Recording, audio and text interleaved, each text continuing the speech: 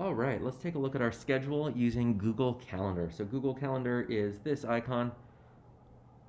Let's tap on that and get started. Now, hopefully you've already logged into Google Meet. If you have, all you need to do is tap that and tap Get Started. There's no need to enter any user credentials because Google Calendar will talk to Google Meet. So if I tap on this little hamburger on the side, I think the default view is going to be week. You can see there's nothing here that's not helpful.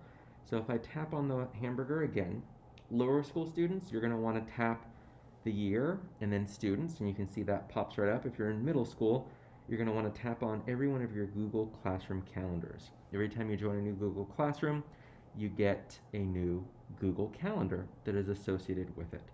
So this is second grade, so I'm going to tap on 2027 students. You can see this is pretty hard to navigate. I recommend using schedule view. That's what that looks like. It gives it to you chronologically. If I tap on the hamburger again, I can switch to day view, which is also pretty good. Uh, I know a lot of problems we ran into earlier today was when we were looking at kind of week view and it was hard to pop into 2A or 2B.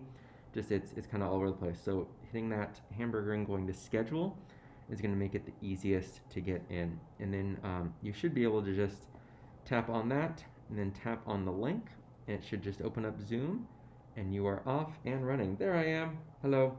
I'm going to close that. I actually don't want to jump into that class. Um, then that's the biggest thing you need to worry about with Google Calendar. Make sure you're already logged in, look at schedule view, and then make sure all of your calendars are tapped so that you can see what is going on.